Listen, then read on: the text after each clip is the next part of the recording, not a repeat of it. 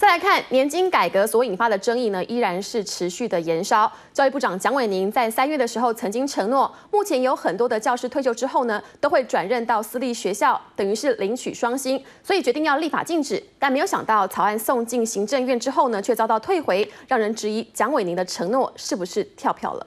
国立大学教授退休后禁领双薪规划草案，教育部送到行政院后遭到院会退回。行政院的理由是军公教人员退休制度必须一体适用，全盘考量。但这是否表示教育部的承诺跳票了？部长蒋伟宁表示还会再努力。我们要进一步演绎了。你第一次的这个退休的这一部分是，其实如果是一个 N 级或者是一个确定给付的这样子概念的时候，他再去就第二做第二个工作的时候啊，其实前段已经用了用了一些资源，那是不是应该？做一些折扣或者做这些处理，还有立委把矛头指向许多教育部退休高官转任私校校长，质疑这些人一去了私校，这些大学就拿到多笔教学卓越计划补助，是否扮演着门神的角色？佛光大学的案例就是说，今年他就没有拿到嘛，所以说如果您刚才讲的那个事情的类推，今年就没有拿到嘛？那一百年度是不是首次拿到？所以一百年度是不是首次拿到？所以我要跟您说明的就是说，他也拿有拿到，也有没有拿到，所以就您的您的理论就有瑕疵。司马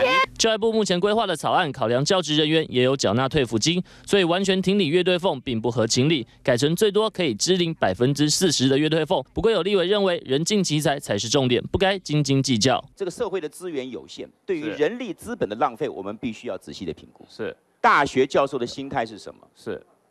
你这里不要我，我可以去别的地方。退休公立教师进领双薪一事争议多时，在人才适当发挥与人民观感正义之间，是否能取得平衡，是政府重大考验。不过看来，因为年金改革一词而引发的战火，仍会持续燃烧。U D TV 陈庭元、昌化台北报道。